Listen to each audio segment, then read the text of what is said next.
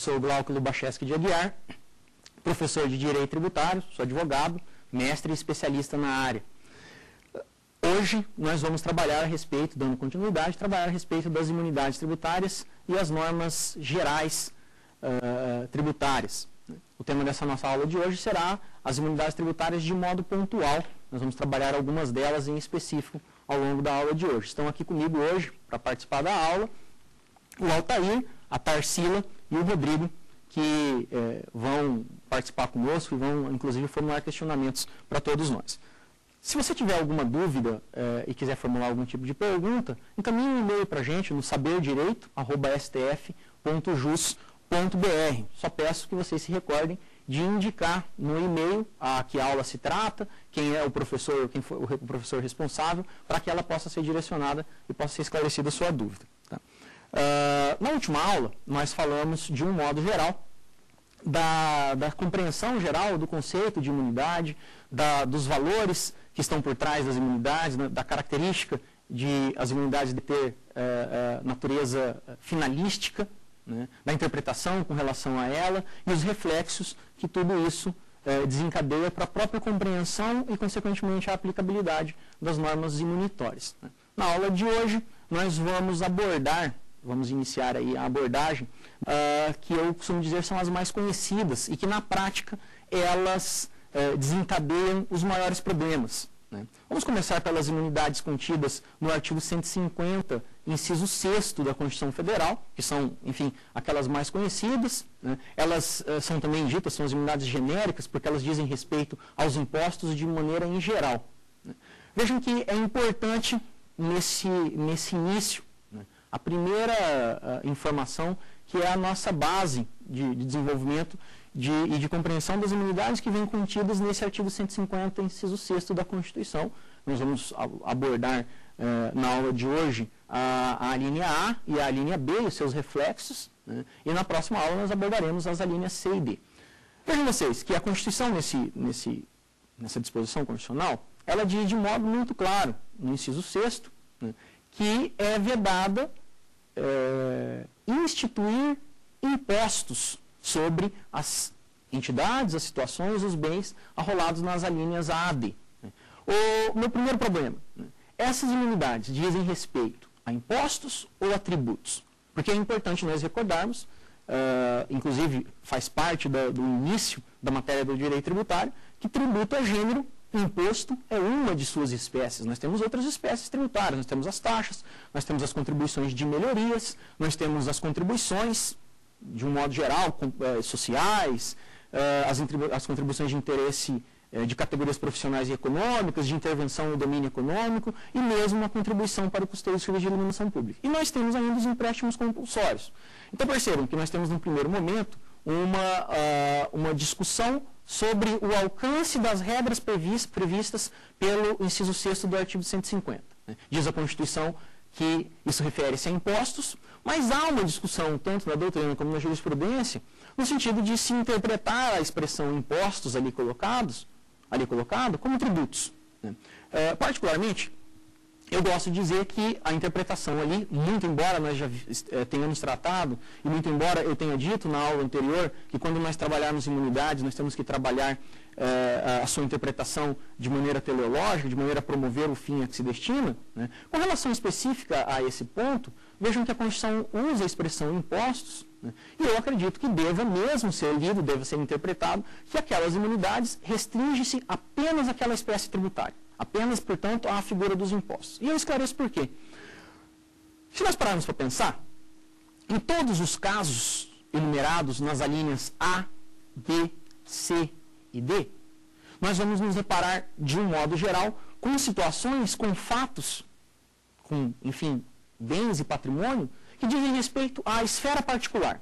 Né? O patrimônio, renda, serviços. Né? Isso é realizado pelo particular, isso são fatos realizados pelos particulares. Se nós lembrarmos o conceito inicial de imposto, nós vamos recordar que imposto é aquele tributo cujo fato gerador não depende de uma atuação do Estado. Ao contrário, o imposto ele surge porque o indivíduo, o particular, realiza um fato jurídico, jurídico qualquer que é sujeito à tributação. É aquele, é, é aquele tributo que decorre das nossas relações intersubjetivas. Né? Então, a pessoa é, é, adquire um patrimônio, a pessoa detém propriedade de bens, imóveis, de veículos, a pessoa ofere rendimentos, tudo isso são, são enfim, fatos sujeitos à tributação por impostos. Estou né? dizendo isso para afastar desde logo o alcance dessas imunidades contidas no artigo 150, inciso 6 dos demais, das demais figuras tributárias. Né? Para restringir isso, para restringir ao que nós vamos desenvolver nesta aula na próxima, e para compreender que isso diz respeito apenas à figura do imposto, uma das espécies tributárias. Né? Vejam vocês que nós vamos encontrar na doutrina, eh, e, e bastante na jurisprudência brasileira, autores que defendem e, e que, e, no final das contas, justificam essa posição, dizendo que aquelas imunidades devem ser interpretadas de maneira a prestigiar todas as figuras tributárias. Mas vejam, eu gosto sempre de, de usar um, um, breve exemplo para mais aclarar a situação. Uh, imaginem a imunidade contida no artigo 150, inciso 6, a linha B, que é uma da que nós vamos trabalhar hoje, né, e ela diz da, da imunidade dos templos de qualquer culto, né? e, vem, e, o parágrafo 4 do mesmo artigo 150 diz que isso diz respeito a patrimônio, renda ou serviços vinculados às suas finalidades essenciais, né? pensem que o patrimônio, os rendimentos ou os serviços são realizados, são fatos realizados por aquela entidade. Então diz respeito à sua esfera particular. Né? Agora pense se isso pudesse ser estendido a uma taxa. Né? Nós não podemos nos esquecer que a taxa, uma outra figura tributária, ela tem por fato jurídico sujeito à tributação a prestação de serviço público específico e divisível, então uma atuação, uma atividade do Estado. O Estado realiza uma atividade em favor do indivíduo né? e, em contrapartida, exige a, a, a taxa. Né? Ou ainda, o particular Desculpe, o Estado, ele exerce o seu poder de polícia, também é uma atividade do Estado. Vejam que na, na situação da taxa, quem realiza o fato sujeito à tributação é o Estado, e não o próprio indivíduo. Né? De maneira que, é, me parece que por essas ideias, fica bastante claro que, eh, num primeiro momento, nós temos que restringir o alcance das imunidades previstas pelo artigo 150, inciso 6 apenas aos impostos. Tá? É, recordando vocês, novamente, que nós temos outras espécies tributárias, mas que não são alcançadas por esta imunidade. Isso é importante recordar, porque evidentemente que ao longo de todo o texto da Constituição, eu vou ter ainda outras disposições constitucionais que dizem respeito a imunidades a taxas, a imunidades a contribuições sociais, imunidades a contribuição é, é, é de intervenção no domínio econômico. Eu vou encontrar ainda imunidades a impostos muito, muito específicos, imunidade à IPI, imunidade ao ITR, imunidade ao ICMS, imunidade ao ITBI. Né? Então, num primeiro momento, nós estamos trabalhando aqui com uma imunidade genérica, no sentido de que diz respeito a todas as subespécies de impostos. Isso é importante. Não? E não alcança todos os tributos. Muito bem. A primeira das imunidades que nós temos que trabalhar é aquela contida na linha A do artigo 150, inciso 6 da Constituição. Uh, o dispositivo diz, uh, a literalidade, que sem prejuízo de outras garantias asseguradas aos contribuintes, é vedado à União, aos Estados, ao Distrito Federal e aos municípios, inciso 6 instituir impostos sobre, a patrimônio, renda ou serviços uns dos outros. Né? Uh, a compreensão inicial a respeito dessas, dessa imunidade ela perpassa por compreender qual é o valor constitucional que está por trás disso daí. Eu disse para vocês, e nós comentamos na aula anterior, que toda imunidade é uma norma finalística.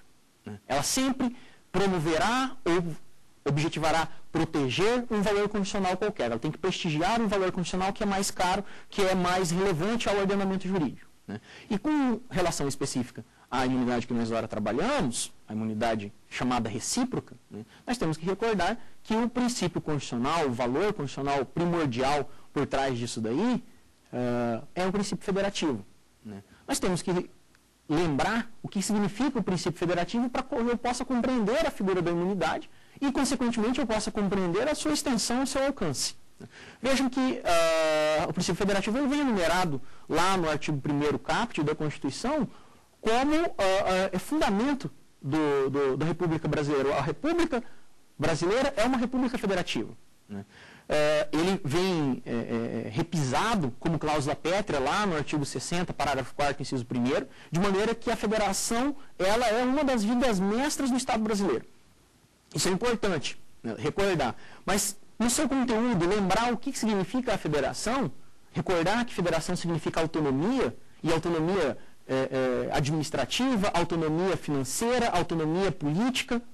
No nosso caso específico, né, a questão da autonomia financeira, poder é, legislar para instituir os, o, é, e exigir as receitas para, no final das contas, custear as despesas da entidade federativa, é talvez a mais importante de todas as vertentes da autonomia que é, envolve o princípio federativo. Né? Porque eu costumo dizer, sem uh, uh, receitas, sem, portanto, a arrecadação dos tributos para que se tenha uh, o abastecimento do erário, para que se tenha o abastecimento do cofre público, não há como haver a autonomia financeira, porque a pessoa não, a, administração pública não consegue gerir e não consegue cumprir suas obrigações, tanto constitucionais como legais. E, evidentemente, ao não conseguir cumprir isso, me parece que isso vai acabar refletindo também na, na, na, no próprio exercício das demais autonomias. Então, nós temos o princípio federativo como o valor primordial por trás da linha A do inciso 6 do artigo 150, ou seja, por trás é o objetivo, é a finalidade que essa imunidade visa resguardar. Muito bem. Uh, eu costumo dizer que essa imunidade ela não tem muita dificuldade de compreensão, por um motivo simples. Né? Me parece que é suficiente que nós percebamos que se trate de patrimônio, de atividades, serviços, portanto, de renda, dos rendimentos, as receitas, enfim, de união, de estados, de Distrito Federal e dos municípios, e fica evidente a impossibilidade da instituição e, evidentemente, como consequência, a exigência de impostos sobre essa situação. Tá?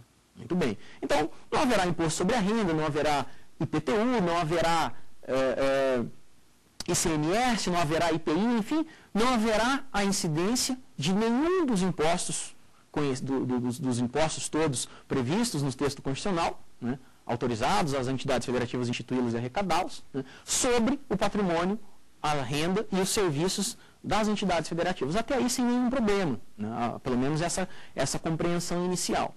O, um segundo ponto, nós temos que recordar, até como consequência da, da, facilidade de compreensão dessas e dessa de, da disposição contida no texto constitucional. Né? É fato de nós estarmos trabalhando com uma imunidade incondicionada.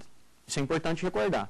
Na aula anterior, eu disse para vocês, olha, nós temos um, uma diversidade enorme de classificações quanto às imunidades. Uma delas é aquela que adota a questão quanto à fruição. Para fruir a imunidade, ora ela será incondicionada, ora ela será, será condicionada ou condicionável. Né? As incondicionadas é o caso do, da imunidade que nós estamos trabalhando nesse momento, né, ela é aquela que não precisa de qualquer observância de requisitos, de condições que eventualmente estejam previstas na legislação infraconstitucional para que sejam fruíveis por parte dos seus destinatários. Né. Basicamente, eu estou dizendo para vocês que é, é, a norma constitucional, conforme a, a, doutrina do direito constitucional, ela é auto-aplicável, aquela norma de eficácia plena e aplicabilidade imediata. Não precisa é, de uma de que se estabeleça, de que se complemente o conteúdo normativo. Né? Mas, é, afora a própria linha, nós temos dois parágrafos que são, estão previstos no, no artigo 150, os parágrafos 2 e 3 do artigo 150, que colocam alguma delimitação na, de alcance com relação a essa imunidade. E esses dispositivos são importantíssimos de serem compreendidos. Né? No primeiro momento, nós temos que recordar o seguinte: nós estamos trabalhando nos parágrafos com autarquias, fundações públicas, essas duas no parágrafo segundo, sociedades de economia mista e empresas públicas, essas duas no parágrafo terceiro. Vejam vocês, então, que para compreender o alcance desses parágrafos e entender em que medida que isso se insere no contexto das imunidades, da imunidade recíproca, que é essa que nós estamos trabalhando, da linha A, do inciso 6 do artigo 150, né, é, eu tenho que compreender as, as, figuras e o regime jurídico da administração indireta. Então, nós já estamos, vejam vocês, nós estamos nós precisamos não apenas das informações condicionais, nós precisamos não apenas das informações tributárias, mas nós precisamos também, nesse ponto, de informações de direito administrativo. Se não tiver a compreensão, no mínimo, de como a administração pública é, é, se perfaz, e especialmente nesse nosso caso, a administração indireta, né, eu vou ter uma certa dificuldade de compreensão da, da extensão e do alcance da, dos parágrafos 2 e 3. Nós sabemos que autarquias e fundações públicas são é, é, entidades da administração indireta, são terceiros criados pelo, pela, pelas entidades federativas com personalidade jurídica própria, patrimônio próprio, e que são criados é, sujeitos a regime jurídico de direito público. Né? É, costumo dizer que é como se fosse o próprio Estado, só que por meio de entidades distintas dele, da, da, própria, da própria entidade política. Né? As autarquias e as fundações são criadas para prestação, de um modo geral, para prestação de serviços públicos, né? é, e funcionam como se fosse a própria entidade perante os seus, os seus destinatários, mas com uma personalidade diferente. Né? É, o ponto de toque, o ponto principal na compreensão disso é que essas autarquias e essas fundações públicas, elas são sujeitas ao regime jurídico de direito público. Consequência disso, vem a Constituição, no artigo 150, parágrafo 2 e guardando, evidentemente, uh, uh, coerência com outros dispositivos que ela traz, né, que, no final das contas, sujeita essas entidades ao regime jurídico de direito público e diz todo o seu processo de, de instituição, de criação, como que devem ser tratados, né? mas vem a Constituição no artigo 150, parágrafo 2 e confere a essas entidades, com relação a seus respectivos patrimônio, renda e serviços? A imunidade que veio enumerada na linha A do inciso 6 do artigo 150. Ou seja, ela, o parágrafo 2 estende a autarquias e fundações públicas, aquela imunidade a impostos sobre o patrimônio, sobre a renda ou sobre serviços que já veio enumerada na linha A e que foram deferidas às próprias entidades federativas. Né? Percebam que é, é, nós temos aí apenas essas duas entidades da administração indireta enumeradas. Aqui é importante um, um parêntese para compreender. Né? É interessante, inclusive, colocar um exemplo para que seja viável essa, essa identificação. Né? Uh, uma universidade federal, a Fundação Universidade Federal do Mato Grosso do Sul, ela é uma fundação uh, criada pela União, fundação pública, portanto, de modo que o seu patrimônio, né, o campus e os imóveis que ela possui, são imunes à tributação por impostos, por exemplo, pelo IPTU.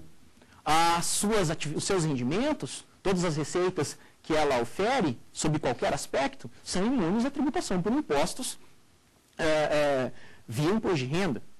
Né? Então percebam que essa é uma fundação pública e, como tal, ela não se sujeita à tributação por impostos, justamente por decorrência da, uh, da imunidade contida na, na linha A do inciso 6 do artigo 150, que é estendida por força do parágrafo 2 né? Uma autarquia, um exemplo de uma autarquia pública qualquer, vejam, por exemplo, o INSS né, o seu patrimônio, os seus rendimentos e o seu serviço, como autarquia pública federal, também não se sujeita à tributação por impostos, porque é o próprio Estado. Só que, por outro lado, eu vou ter, no parágrafo 3 do artigo 150, outras duas entidades da administração indireta, que não se confundem com as autarquias e fundações previstas pela, pelo parágrafo 2 tá, que são as sociedades de economia mista e as empresas públicas. Estas para que se compreenda o alcance das imunidades, deve-se recordar que elas são sujeitas a um regime jurídico, que eu costumo dizer é um regime jurídico híbrido, porque em parte ela se sujeita a regime jurídico de direito público e em parte ela se sujeita a regime jurídico de direito privado. Né? Especificamente na parte em que ela se sujeita ao regime jurídico de direito privado, vejam que esse dispositivo constitucional, do parágrafo 3 do artigo 150, que, vejam vocês o que eu vou dizer, não estende a imunidade a essas entidades, ou seja, o seu patrimônio, os seus serviços, os seus rendimentos são sujeitos à tributação por impostos, né? A Constituição faz isso justamente para guardar coerência com outro dispositivo que está lá nos parágrafos do artigo 173 e que diz que essas entidades serão criadas para que o Estado explore o exercício de atividade econômica. Em outros termos, quando o Estado resolver atuar na, na, na atividade econômica com o objetivo de lucro, ele deverá fazê-lo por meio da criação de empresas públicas e sociedades de economia mista. Quando isso acontece, vejam vocês, essas eh, entidades estatais, né, as empresas públicas e a sociedade de economia mista, elas atuam no bojo das atividades econômicas. Elas estão sujeitas ao princípio da livre concorrência, elas concorrem no mercado econômico com outras entidades, porém de natureza privada, e faz o que a Constituição, no artigo 173, se eu não me engano, parágrafo 2, ela diz o seguinte: olha, quando isso acontecer, essas entidades se sujeitarão às mesmas obrigações de direito civil, de direito previdenciário, de direito tributário, de direito trabalhista e de direito empresarial. Ou, em outras palavras, ele está dizendo, quando o Estado resolver atuar no âmbito das atividades econômicas com o objetivo de lucro, ele deverá criar entidades específicas, sociedades de economia mista e empresas públicas, né? e estas, porque no final das contas atuam como particular, elas não poderão se sujeitar, a, a, desculpe, elas estarão sujeitas à tributação por impostos como se o particular fosse. Então nós temos uma delimitação. Vejam vocês que eu tenho a imunidade das próprias entidades políticas, que por força do parágrafo 2 do artigo 150 é estendida a autarquias e fundações públicas. Basicamente, nós podemos concluir que, no final das contas, então, autarquias e fundações, as próprias entidades federativas, União, Estados, Distrito Federal e municípios, são imunes à tributação por impostos. Por outro lado, né? Eu tenho sociedades de economia mista e empresas públicas que, muito embora entidades da administração indireta, porque exercem atividade econômica com vistas ao lucro, porque concorrem, portanto, no mercado, né? elas estão sujeitas, como qualquer particular, à tributação por impostos. Vão ter que pagar imposto de renda, vão ter que pagar IPTU, vão ter que pagar IPVA, enfim, todos os, todos os impostos que oneram uh, uh, o seu patrimônio, os seus rendimentos e os seus serviços. Né? Até aí, uh, o problema é, é, tranquilo. Só que a questão é que, ao longo do, do, do tempo, né, e principalmente em vista da nossa legislação administrativa, nós vamos nos deparar, e especialmente também em vista da nossa da, da, de algumas disposições constitucionais, nós vamos nos deparar com duas situações que são muito preocupantes. A primeira delas, inclusive, levou a um posicionamento por parte da Suprema Corte que é até recente, né, é o fato de algumas empresas públicas algumas empresas públicas, realizar a prestação de determinados serviços públicos, tá? Só que esses serviços públicos são exercidos a título de monopólio. Qual que é a consequência disso? Né? Uh, num primeiro momento, nós vamos recordar que a empresa pública assim como a sociedade de economia mista, deve se sujeitar à tributação por impostos. Só que estas, em especial, essas que exercem e prestam serviços públicos é, é, é, mediante monopólio, que é deferido pelo próprio texto constitucional, especialmente eu estou me referindo a Correios, a Infraero, que são dois exemplos bastante recorrentes, né, estes, muito embora empresas públicas, eles são, estão sendo tratados na jurisprudência da Suprema Corte como uh, uh, entidades imunes à tributação por impostos. Olha o nosso problema então. Muito embora se tratem de empresas públicas, que, em regra, por força da previsão do artigo 150, parágrafo 3 deveria recolher impostos sobre seu patrimônio, renda ou serviços, aquelas empresas públicas que prestem serviços públicos mediante monopólio, mediante a outorga do monopólio por parte do texto constitucional, estas não poderão ser tributadas por impostos. Elas recebem, por extensão da, do próprio artigo 150, inciso 6, a linha A, a imunidade dita recíproca que o dispositivo eh, prestigia e estabelece. Nós temos então aí aquela velha ideia de que toda regra tem uma exceção e toda exceção sempre nós vamos encontrar uma breve exceção. Por que nós eh, estamos pontuando isso? É importante lembrar, com relação a isso tudo, né, que eh, o texto constitucional trouxe algumas circunstâncias, alguns serviços que são delegados ah, à exploração mediante monopólio do, da própria União. Tá? E nesses casos, e eu estou dando aí o exemplo para vocês da, dos Correios e da Infraero, especificamente, é, nesses casos foram criadas a legislação ao instituir e ao criar essas entidades, as criou por meio de empresas públicas. Em outras palavras, né, utilizou-se ao tempo da sua criação, uma entidade da administração indireta que basicamente deveria ser destinada à exploração de atividade econômica. Muito bem. Uh, se eu fizesse só essa leitura superficial, se eu olhasse apenas pelo fato de uh, essas entidades caracterizarem-se como empresas públicas, evidentemente que eu, eu chegaria à conclusão de que uh, elas não deveriam receber o benefício imunitório, e, consequentemente, deveriam se sujeitar ao pagamento de impostos. Né? Fato foi, e especialmente com relação aos Correios, que com o surgimento, com a entrada em vigor da Lei Complementar 116 de 2003, que colocou os serviços de Correios como é, serviços sujeitos à tributação pelo ISSQN, o Imposto sobre Serviços de Qualquer Natureza, de competência dos municípios, né, isso criou-se um impasse, né, é, no sentido de que é, os municípios brasileiros pretenderam tributar os serviços da, dos Correios, né, ao passo que, de outro lado, os Correios defendiam se tratarem de empresas, de entidades imunes à tributação por impostos. E vejam vocês, a, a alegação dos municípios restringia-se apenas a dizer, bom, mas os Correios, em primeiro lugar, são empresas públicas. E, secundariamente, os seus serviços vieram expressamente previstos na lista de serviços anexa à Lei Complementar 116.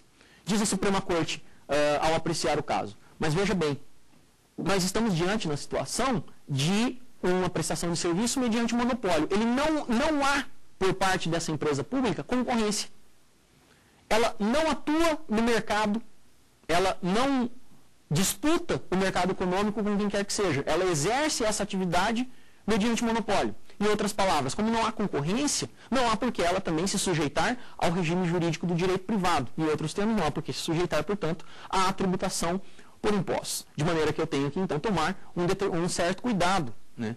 É, embora a Constituição diga que, que empresas públicas e sociedades de economia mista estão sujeitas à tributação por impostos e, portanto, não recebem a proteção imunitória da, da linha A do inciso 6 do artigo 150, eu tenho que olhar caso a caso, caso, a caso para poder bem compreender essas, essas ideias. Tá? Uh, existe um segundo problema, um pouco mais simples do que esse, que diz respeito ao fato de as, dessas, dessas entidades imunes elas explorarem o seu próprio patrimônio. Né? Uh, muitas fundações públicas, muitas universidades que foram constituídas como fundações públicas, elas recebem ou elas são detentoras de é, é, patrimônio imobiliário muito grande. Né? O que, que, elas fazem com esse patrimônio imobiliário? A maioria delas explora o seu patrimônio, né? ou, ou, seja, elas alugam a, a, particulares, a terceiros, enfim. Né? O fato dessas, dessas entidades é, realizarem essa locação do seu patrimônio, explorarem o seu patrimônio, ele, ela faz com que essa entidade perca a característica da imunidade? Né? Eu digo para vocês, absolutamente. Né? A pergunta é muito simples. A quem pertence o patrimônio? Patrimônio pertence à entidade imune, patrimônio pertence à fundação, o patrimônio pertence à autarquia, o patrimônio pertence à própria União, Estado, Distrito Federal ou município.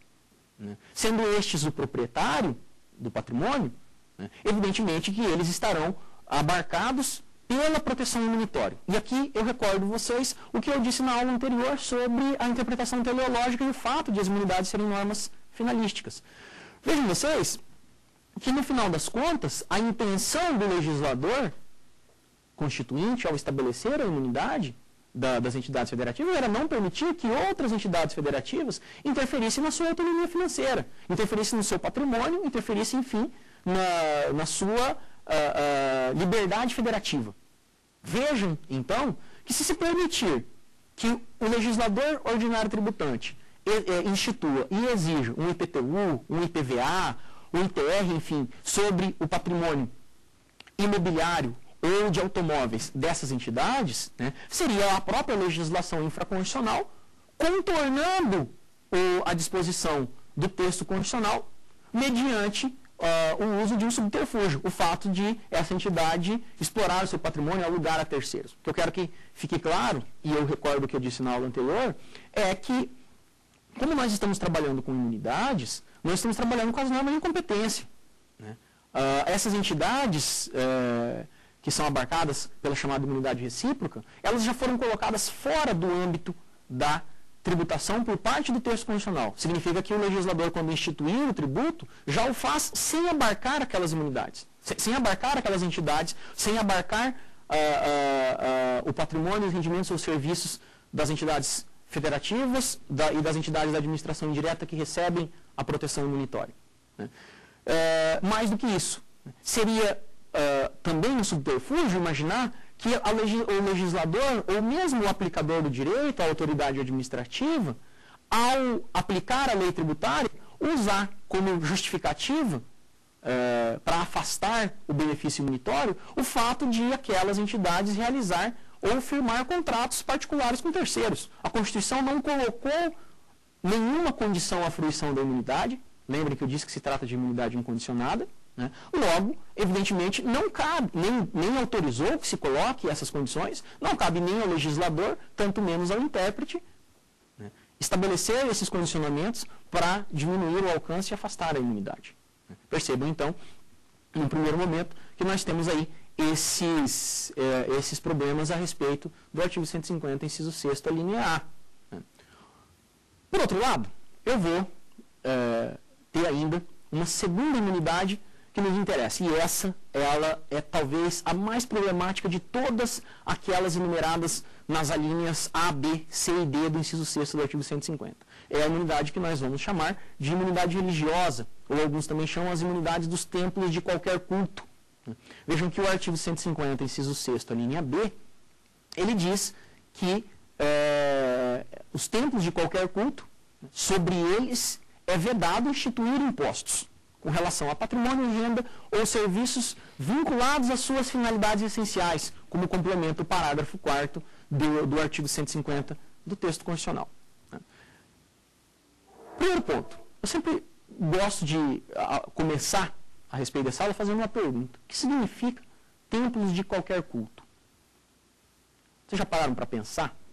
Templos de qualquer culto. Né?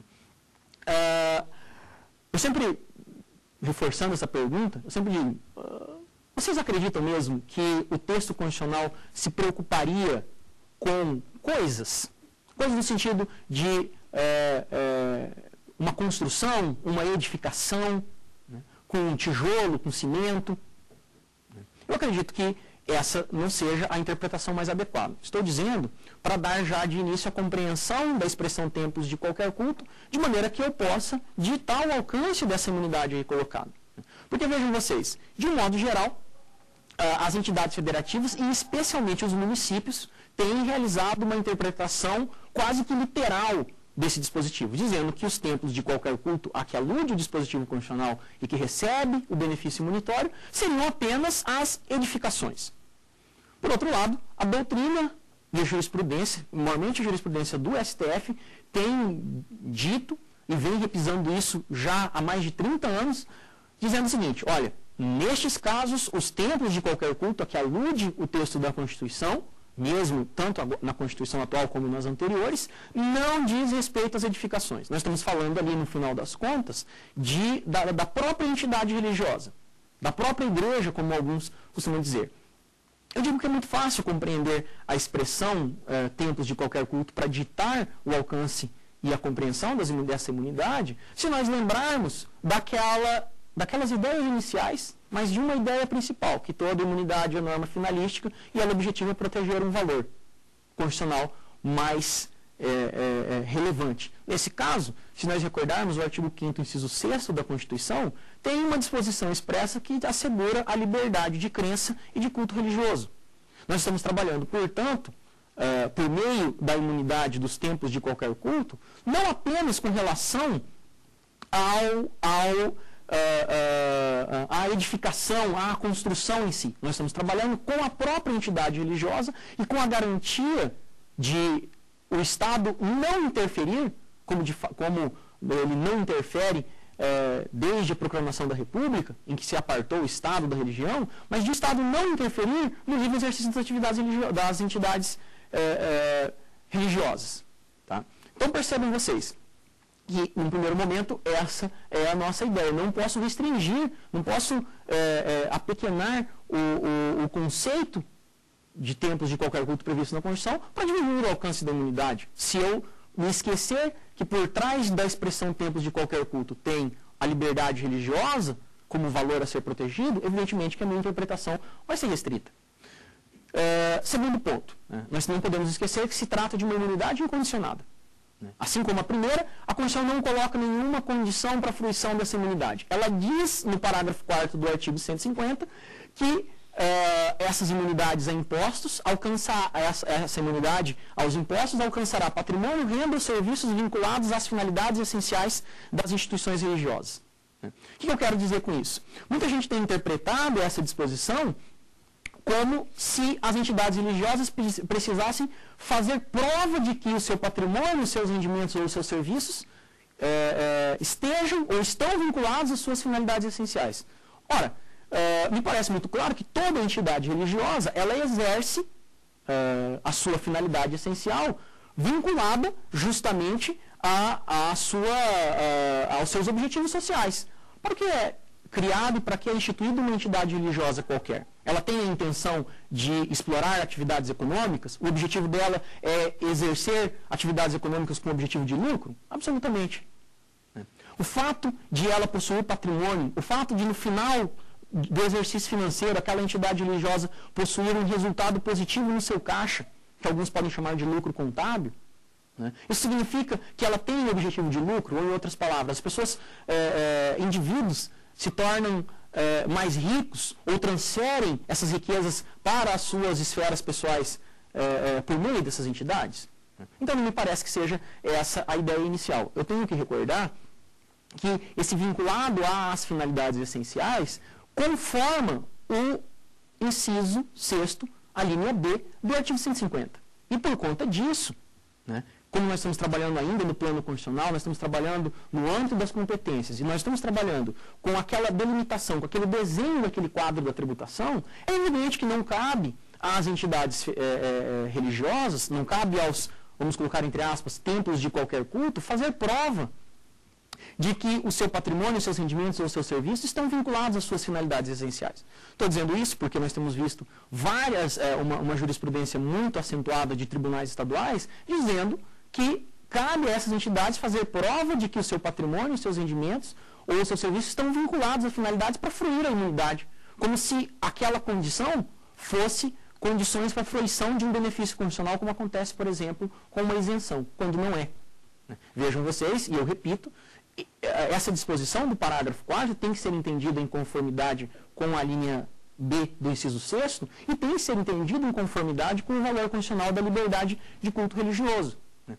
Vejam que, novamente, foi desenhado o quadro da tributação com as entidades religiosas fora do alcance tributário. Se as entidades federativas pretendem tributar as entidades religiosas, e evidentemente cabe a elas demonstrar essa desvinculação do patrimônio, dos rendimentos e dos serviços às entidades, é, é, às suas finalidades essenciais, né, quando ela faz isso, de fato ela está demonstrando que não se trata de uma entidade religiosa. Na verdade, Percebam, só formalmente, só no papel, seria uma entidade religiosa, quando, de fato, ela se trataria de uma instituição com objetivo de lucro. Estou dizendo, por tudo isso, que nós estamos trabalhando aí, quando nós falamos da imunidade das entidades religiosas, da imunidade dos templos de qualquer culto, estou dizendo que, a priori, de um modo a priorístico, essas entidades estão fora da tributação. Se o poder público comprovar que aquelas entidades é, é, não eh, estão desvirtuando as suas finalidades e, portanto, perderam a característica de entidade religiosa, aí elas passam a se sujeitar à tributação. Mas não porque eh, eh, houve a mera e tão só desvinculação. E sim porque, na verdade, só formalmente ela é uma entidade religiosa, mas, de fato, ela não tem essa característica. Afinal de contas, nós dissemos no início, toda entidade religiosa, um objetivo é lucro, toda entidade religiosa ela tem uma finalidade essencial é, que é definida no seu estatuto constitutivo, é o seu objetivo é, primaz.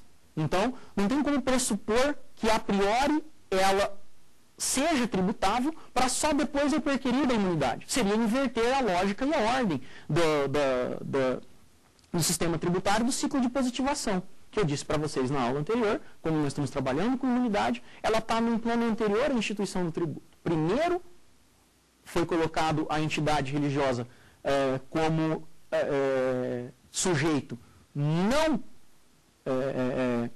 possível de sofrer o ônus tributário? E só depois disso, fora feito esse desenho desse quadro da tributação, é que dentro desse quadro poderá a, a, a, as entidades federativas editar a lei. Eu costumo dizer o seguinte, se nós estamos com um quadro, é como se as entidades religiosas estivessem fora do quadro da tributação. Só pode ser tributado o que está aqui dentro. O que está aqui fora não pode sujeitar-se à tributação. Situação particular, e já caminhando para o final, é, diz respeito e bastante que é o grande problema, ao fato de, as, de o patrimônio, principalmente o patrimônio imobiliário dessas entidades, eles serem especialmente destinados a aluguel. É muito comum que entidades religiosas sejam detentoras de grandes e eh, de, de, boa quantidade de bens imóveis, nas mais diferentes cidades. Né? Em muitos dos casos, esses imóveis são alugados para terceiros, para particulares, até para outras entidades. Em muitos desses casos, nós não temos uma construção, nós não vamos encontrar uma edificação sobre aqueles imóveis. É o fato de haver esse aluguel que implica eh, na descaracterização da afetação do patrimônio à finalidade essencial? Né? Eu digo para vocês que absolutamente. Eh, e não estou sozinho nessa, nessa, nesse posicionamento, vejam vocês que a maioria da doutrina do direito constitucional tributário brasileiro e também a própria Suprema Corte já vem dizendo, desde há muito, que o, o fato de haver o aluguel não descaracteriza a entidade religiosa. Até porque eu recordo a ideia da imunidade, que a imunidade impede a tributação.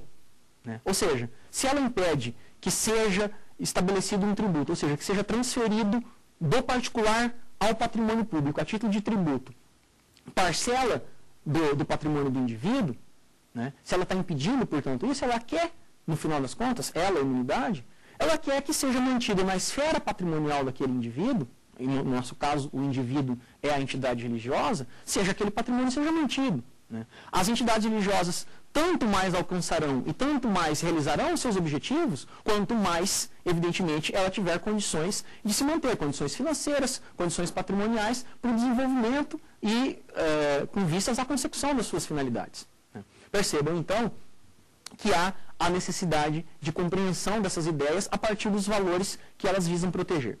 Existe um detalhe, né? uh, a Suprema Corte tem uma súmula, que é a súmula 724, que eu comentei em passando na aula anterior, onde essa súmula uh, diz que o fato do aluguel do patrimônio não descaracteriza a imunidade.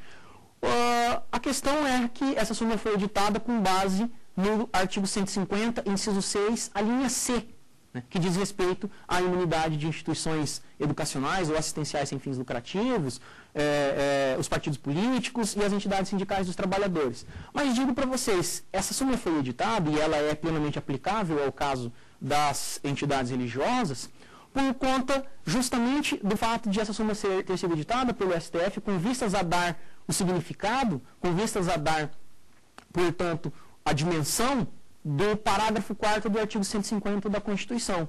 E se vocês olharem lá no parágrafo 4 do artigo 150 da Constituição Federal, ele refere-se tanto às entidades previstas nas alíneas B, que no caso os templos de qualquer culto, como as entidades previstas nas alínea, na alínea C, que eh, originou a referida súmula. Estou dizendo então que embora a súmula tenha sido editada para tratar do tema do aluguel dos bens imóveis relacionados a entidades assistenciais e educacionais sem fins lucrativos, partidos políticos e entidades sindicais dos trabalhadores, ela também é absolutamente aplicável ao caso das, da, dos templos de qualquer culto, enfim, das entidades religiosas.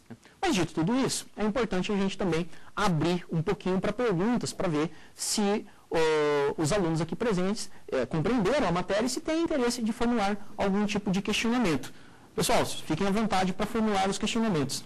Professor, caso não houvesse, hipoteticamente falando, né, a imunidade tributária referente às entidades eh, religiosas, qual seria o fato gerador que sujeitaria a cobrança dessa tributação? E qual ente federativo estaria incumbido, a princípio, de realizar essa tributação? A pergunta do Altair é pertinente. Vejam vocês, primeiro que a gente tem que compreender que uh, a, a delimitação da regra de imunidade da, dos templos de qualquer culto, ela envolve tanto a linha B do inciso 6 do artigo 150, como o próprio parágrafo 4 Percebam, então, que se nós olharmos, uh, fizermos uma análise sistemática desses dois dispositivos, nós vamos perceber, em primeiro lugar, que diz a Constituição que é vedado instituir impostos sobre patrimônio, rendimentos ou serviços. Né? Para que fique bem claro, né? uh, os fatos geradores que você diz, são, seriam aqueles é, é, realizados pela própria entidade religiosa. Então, a entidade religiosa poderia exercer, poderia realizar a propriedade do bem imóvel, a entidade religiosa poderia realizar a propriedade de veículo automotor, a entidade religiosa poderia realizar uh, a aquisição de rendimentos, Né? Todos esses são fatos sujeitos à tributação por impostos. Só que detalhe relevante, cada fato gerador desse gera a competência de uma entidade federativa. Com relação ao patrimônio imobiliário, gera a competência dos municípios via IPTU. Com relação ao patrimônio de veículos automotores, gera o IPVA de competência dos estados. E com relação aos rendimentos, por exemplo, gera a competência da União para tributação. Então, o que atrai essa a possibilidade de uma ou outra, o que atrairia, melhor dizendo, uma entidade de uma ou outra entidade federativa de instituir e exigir esses impostos, eh, seria justamente o fato jurídico tributável realizado por essas entidades religiosas. Mas, vejam vocês, que pelo, pela circunstância de a Constituição não permitir que essas entidades sofram o impacto da tributação, os fatos que elas realizam, propriedade de veículos, propriedade de bens, rendimentos, são fatos, por assim dizer, não sujeitos à tributação. Perfeito? Senhorita, tem outra uma pergunta? Sim. Professor, a chamada imunidade recíproca, ela, ela, ela alcança todas as entidades da administração indireta? Boa pergunta. É importante nós é, recordarmos que a, a, administração pública, de um modo geral, nós temos as, as, entidades federativas em si, União, Estados, Distrito Federal e municípios. Né? E cada uma delas é formada ou é, é, é, é caracterizada por, a, pela própria administração direta, como pela administração indireta. Nas entidades da administração indireta, que nós temos quatro eh, entidades muito características e muito bem eh, difere, muito diferentes e, e, muito bem detalhadas pela legislação, somente duas delas a priori, somente duas delas a priori são, estão imunes à tributação por impostos por força da chamada imunidade recíproca. São elas as autarquias públicas e as fundações mantidas pelo poder público. Nós temos ainda duas outras entidades da administração indireta, que são a Sociedade de Economia Mista e as empresas públicas. Tá? Se nós olharmos, de regra e a priori, essas entidades não estão sujeitas, ou melhor dizendo, não, não recebem o benefício imunitório, ou em outras palavras, melhor dizendo, elas estão sujeitas à tributação por impostos. Só tem um detalhe. Uh, por força de particularidades na prestação de serviço uh, por parte dessas entidades, especialmente aqueles serviços que são prestados mediante monopólio, né, essa, nessas circunstâncias a jurisprudência definiu e vem definindo que pelo fato de não haver concorrência, pelo fato de não haver, portanto, exploração propriamente da atividade econômica, embora empresas públicas, elas recebem a proteção imunitória e, portanto, essas empresas públicas, exemplo disso são os Correios e a, a Infraero, né, elas não sofrerão o impacto da tributação por serem imunes por extensão da, da, da alínea A do inciso 6 do artigo 150. O senhor tem alguma pergunta? Tenho sim, professor. É, o fato das entidades religiosas explorarem né, o seu patrimônio em si isoladamente afastam a imunidade? Perfeito. É, vejam, é, absolutamente o fato da exploração do patrimônio, o fato, às vezes, do, da, da, consecução de alguns serviços, de algumas atividades econômicas, exemplo, por exemplo, venda de determinados objetos, né, afastará a imunidade tributária das entidades religiosas. Primeiro porque a, a Constituição não colocou condições para a fruição desses, desse, eh, desse benefício imunitório. Se, se, a Constituição não colocou, evidentemente, é princípio comezinho do direito que não cabe ao intérprete colocar o condicionamento onde não há a previsão.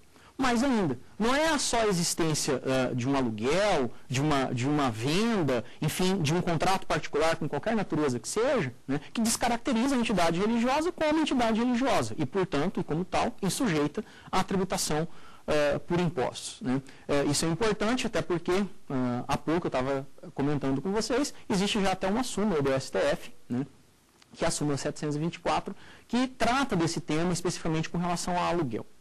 Agora vejam vocês, uh, uh, eu me recordei de por que não há uma súmula uh, por parte da Suprema Corte, seja a súmula, a súmula de jurisprudência, seja a súmula vinculante, que em definitivo coloque estes termos, que em definitivo, enfim, ela defina os limites da interpretação da, da expressão templos de qualquer culto. E eu digo para vocês, porque no final das contas, cada caso é um caso.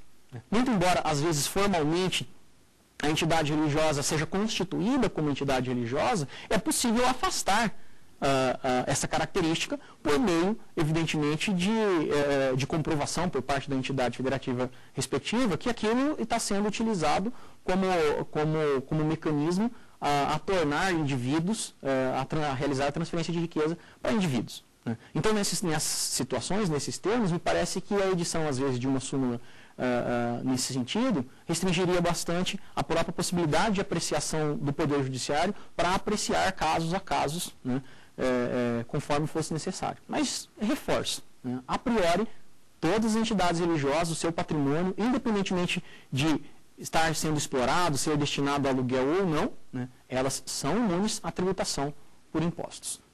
Então, vejam vocês, é, que é, nós tivemos aqui algumas perguntas vinculadas a essas duas primeiras imunidades, né, e elas é, é bem refletem os, os, problemas que são é, que envolvem a questão da imunidade recíproca trazida pela linha A e o problema da imunidade religiosa trazida pela é, a linha B. Né. Percebem vocês, então, que para solucionar esses problemas, pelo menos para justificar e fundamentar as minhas respostas, né, é, eu vali daquelas ideias inici iniciais que nós tivemos na aula anterior, né? onde nós, nós estabelecemos a necessidade de interpretação teleológica, o fato de a imunidade ser, portanto, normas de natureza finalística. Né? Então, é, para nós é, fecharmos esse tópico, nós fecharmos a aula de hoje, né? é importante nós recordarmos os pontos principais que foram desenvolvidos ao longo dessa, dessa aula.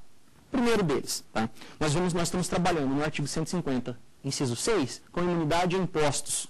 Elas não abarcam as outras figuras tributárias, ou seja, taxas, contribuições de melhoria, contribuições e os empréstimos compulsórios.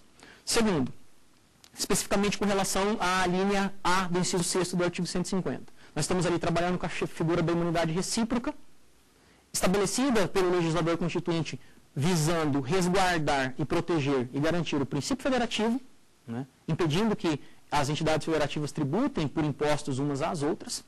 Ela alcança patrimônio, renda ou serviço dessas entidades. Ela é extensível às autarquias e fundações públicas, com relação a seus patrimônios, às suas rendas e seus serviços. Ela não é extensível às eh, entidades denominadas de sociedade de economia mista e empresas públicas, ressalvado o caso de essas empresas públicas explorar, prestarem serviços públicos mediante monopólio.